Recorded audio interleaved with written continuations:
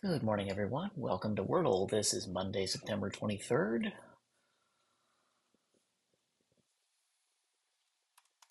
We have flash flood warnings nearby. It's been rather rainy. And I get a solitary A out of it. Well, I need more vowels. Let's try alone.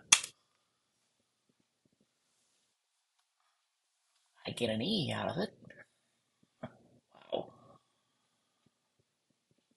Spear, shear are all out.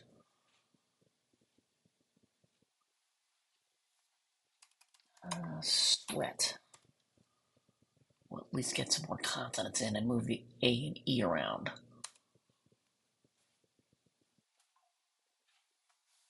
Okay, T must go second.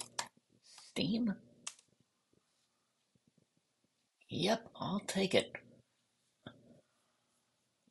This was a very logical and easy path to get to four, and let me know how you did in the comments.